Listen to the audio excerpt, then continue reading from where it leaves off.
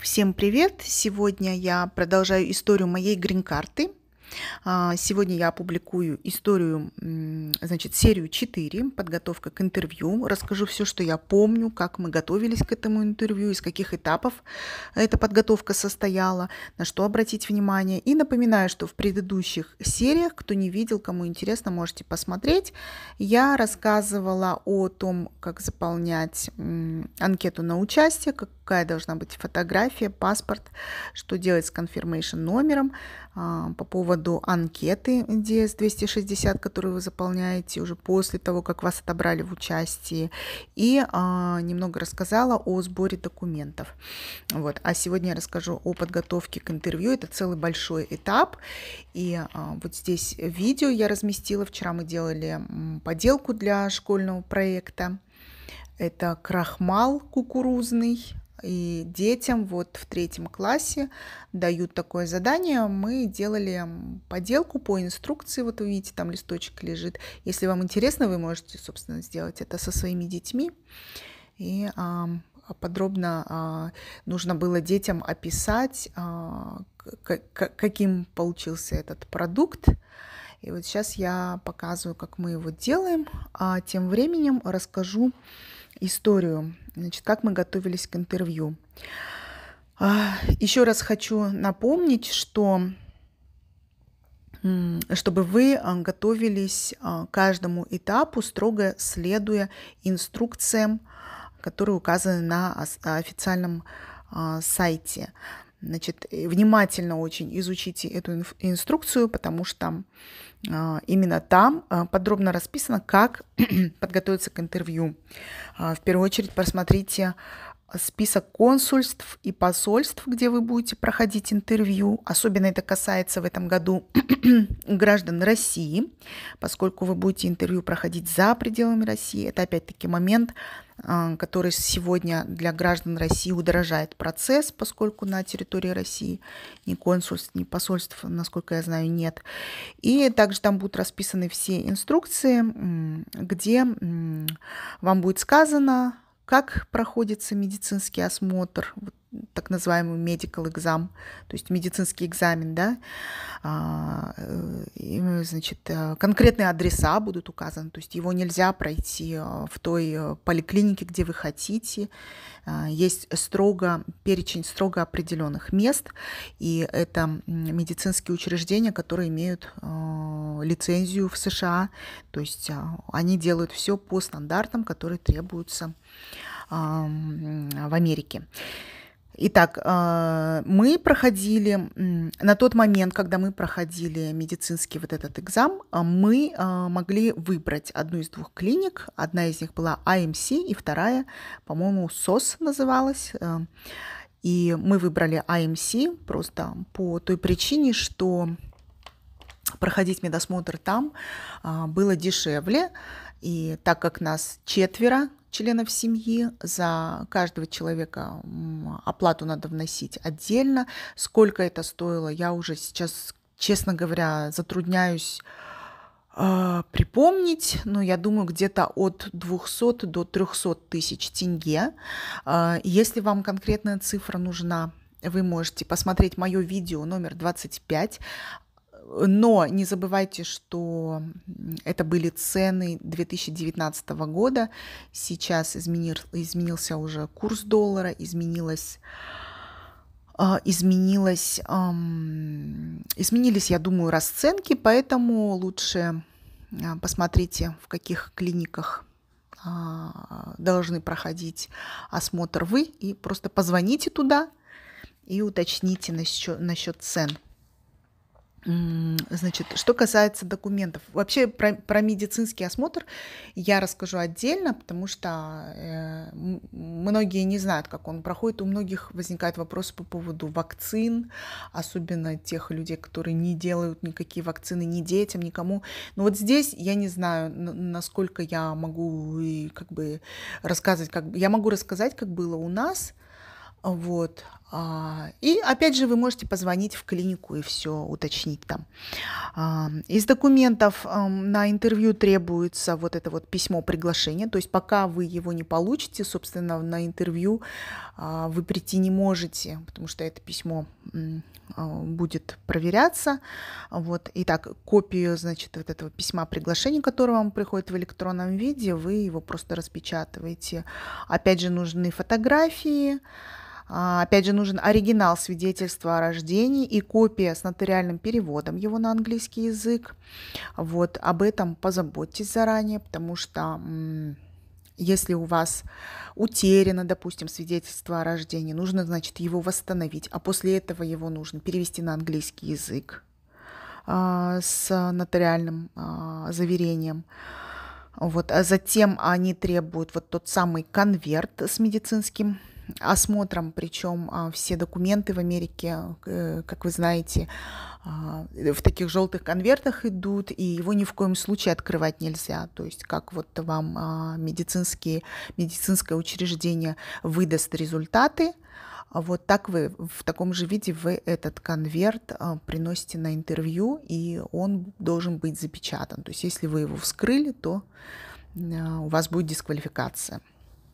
Почему это делается, я думаю, понятно, потому что чтобы вы э, не подменили какие-то документы, они, ну, это э, нужно соблюдать просто. Так, а, ну, соответственно, те же документы нужны на супруга и детей, да, с которыми вы совместно выезжаете. И документы, которые будут не у всех, ну вот лично у нас были это свидетельства о браке, Снова, опять же, оригинал и нотариально заверенный перевод. Свидетельство о разводе. Ну, соответственно, если вы никогда не женились и никогда не разводились, то вам эти документы не нужны. Ну вот э, также вот свидетельство о браке, о разводе тоже нужны оригиналы и нотариально заверенные а, копии с переводом. А, так, справки о несудимости, те самые, которые вот вы отправляете с конверсии, на интервью нужно взять их а, с собой, их оригиналы. Ну и какие-то милитари документы из военкомата. Здесь я уже по-моему, военный билет, точно, точно не, могу, не могу сказать, потому что это вот мой муж занимался этим, и я вот могу ошибиться в названиях этих документов. Но у вас в инструкциях все это будет, то есть вы будете знать, что брать с собой. Ну, соответственно, тоже, да, этот, э, нужно этот пакет собрать заранее. Я, я, я бы озадачилась э, сбором заранее, потому что вдруг что-то утеряно, чтобы можно было восстановить, вдруг что-то там выписано с ошибкой, да, и, ну и так далее, э, чтобы можно было устранить эти ошибки. Э, так, опять же, если было усыновление, то есть либо вы были усыновлены, либо ваши дети вами усыновлены, кто-то из ваших детей. Вот эти все документы, соответственно, об усыновлении тоже необходимо а, взять с собой оригиналы и, соответственно, нотариально заверенные переводы. А, вот. Так. Но, кстати, про нотариальное заверение хотела сказать. А, для нас, мы из Казахстана, у нас в требованиях было написано, нужно было все документы нотариально заверять. Имеется в виду переводы вот, э, этих документов. Однако я знаю, что для каких-то стран нотариальный перевод не требуется. Поэтому я всегда говорю, не слушайте э, многочисленных блогеров, кто, кто проходил, внимательно читайте инструкции. Возможно, для вашей страны э, подойдет обычный перевод, не нотариальный. Поэтому здесь я утверждать не могу, но чтобы вы не, делали лишних э, затрат, лишних движений вот этих, вот вы можете, собственно, э, может быть, именно в вашей стране нотариальный э, перевод не нужен, а достаточно обычного перевода. А, вот. Поэтому здесь уже смотрите те инструкции, которые выпущены конкретно для вас. К тому же, например, вот мы уехали три года назад, да, в девятнадцатом, а, а требования могли измениться, они могли дополниться или, наоборот, упроститься а, к сегодняшнему моменту, ну и так далее. Поэтому читайте инструкции, мой вам совет. А, ну и если вы из страны, например, э, например, допустим, Таджикистан, а интервью вы проходите в Алмате, э, то вам можно иметь с собой переводчика э, с любого языка. Ну, если вы не владеете, допустим, русским, английским или казахским, то вам достаточно иметь переводчика. И об этом тоже нужно заявить заранее вот на этом как раз-таки этапе. А, а также, если человек, например, с инвалидностью проходит интервью снова, нужно заявить о том, что э, вы хотите взять с собой э, помощника, человека, который там будут, будет, э, допустим, катить вашу коляску, или пожилого человека, помогать там, ему, может быть, он там не видит, допустим, или плохо видит, плохо слышит, ну и так далее, понимаете? Вот, теперь пару слов хочу сказать об эм, иммигрант виза фи это деньги, которые вы будете платить э, госпошлину за э, интервью. А, вот здесь вот я очень много возмущений слышала от э, разных людей, которые возмущаются, что эти деньги не возвращаются в случае э, отказа в иммиграционной визе. То есть здесь все очень четко. Не, не а, важно, какой будет результат, а, вы будете платить эти деньги в кассу перед прохождением интервью. Причем неизвестно, какой будет результат, деньги не возвращаются, потому что эти деньги – это сбор за проведение интервью то есть консульство проводит интервью, люди работают с вашими документами, а, соответственно, они а, тратят время на рассмотрение, они проводят эту работу, соответственно, деньги не возвращаются, и я думаю, в инструкциях а, вас предупредят об этом. А, поэтому вы должны понимать. А, значит, когда проходили интервью мы, а, вот этот вот сбор э, за интервью э, по иммиграционной визе, он стоил 330 долларов на человека. Вот здесь тоже такой момент был, то, что желательно, вот как вы сделали мы, да, нас было четверо, значит, мы и двое детей, по 330 долларов на человека, то есть общая сумма составляла 1320 долларов. И вот эту сумму мы взяли э, наличными деньгами без э, без э, необходимости давать нам сдачу. То есть именно ровно вот эту вот сумму мы приготовили, и перед интервью мы ее уплатили в кассу. Почему вот, ну, лично мы заморочились, потому что мы подумали, что если мы э, дадим, допустим, ну, там, допустим, полторы тысячи, им нужно будет давать нам сдачу, вдруг ее не окажется, и чтобы нас не перекинули в, в конец этой очереди, мы, значит, взяли эту сумму именно в нужных купюрах, потому что мы были с ребенком, нашей дочери было тогда 5 лет, телефоны на входе а, в консульстве а, забирают. И а, детям очень утомительно проходить это все, потому что заняться нечем, там нет народу много, э, там нет возможности там, сунуть какую-то это самое, компьютерную игрушку ребенку, а время ожидания может э, тянуться долго. Поэтому вот нам хотелось исключить вот эти моменты, когда нас могут э, как бы попросить уйти в конец очереди.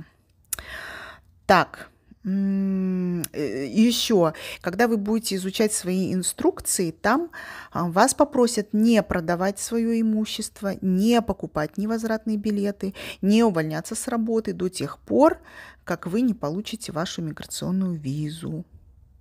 А, потому что, соответственно, результат этого интервью, он может быть любым, и поэтому не спешите, даже если вы дошли до этого этапа, а, окончательное решение, а, выпускать вам визу или нет, выдает консул, ну или э, работник консульства, и не нужно делать поспешных шагов, увольняться, продавать имущество и так далее.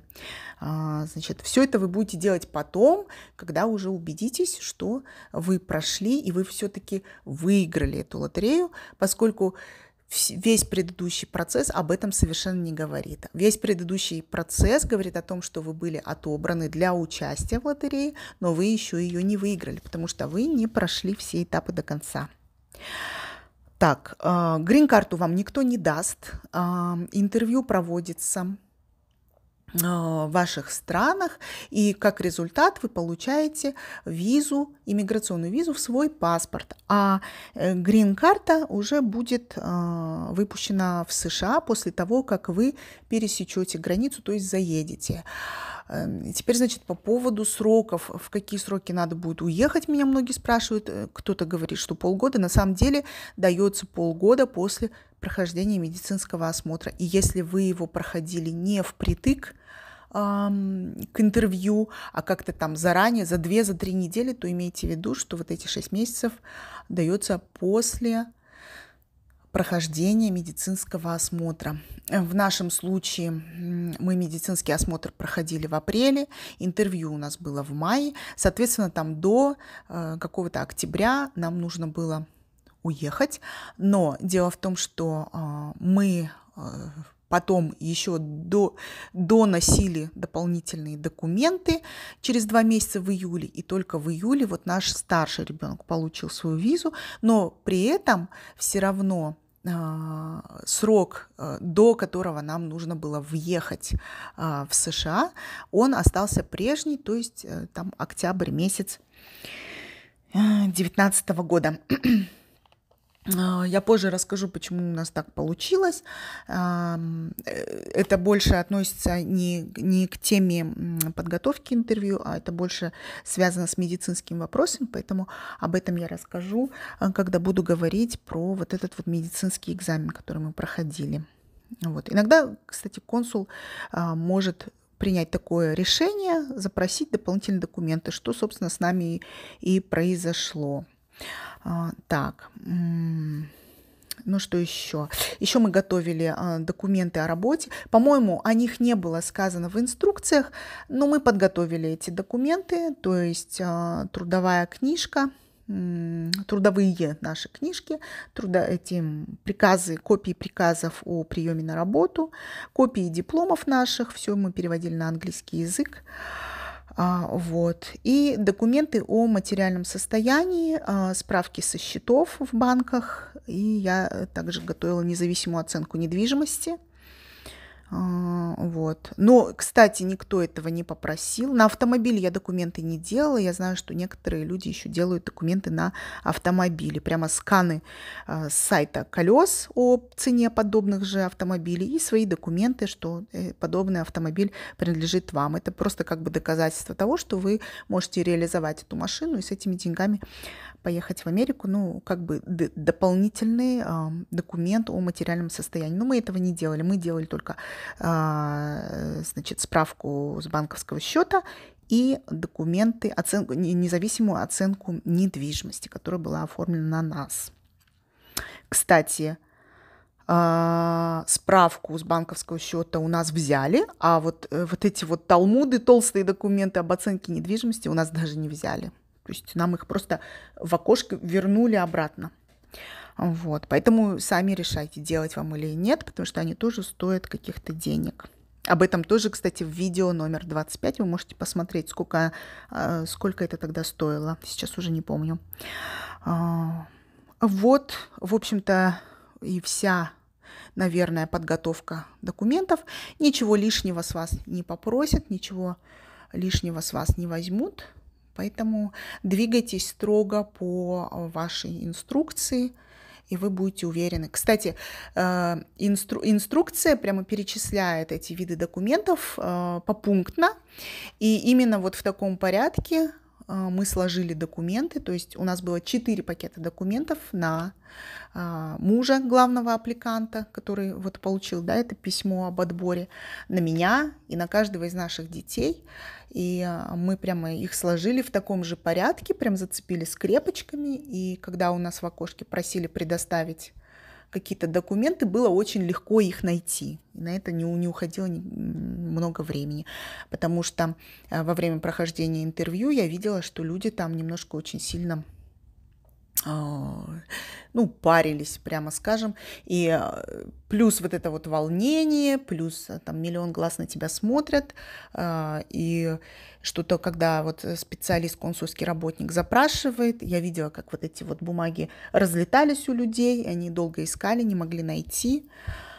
И там немножко так вот, э, просто вам будет легче, если вы сложите их прямо по порядку и будете подавать то, что у вас просят, и очень-очень организованно и быстро. Ну, вот такие вот, вот такие вот, в общем-то, э, мои как бы советы для вас. Ну вот и все. Задавайте вопросы, что вспомню, расскажу. Ну и я продолжу свое повествование в следующих сериях а, расскажу вам а, о том, что было дальше. В частности, я хочу рассказать о медицинских делах, потому что это такой большой раз, раздел, вот этот вот медицинский экзамен. Он такой прямо большой, и у нас там были некоторые заминки вот со старшим ребенком. И я думаю, я, вам расскажу, чтобы вы просто имели в виду, что такое может быть, что вот бывает.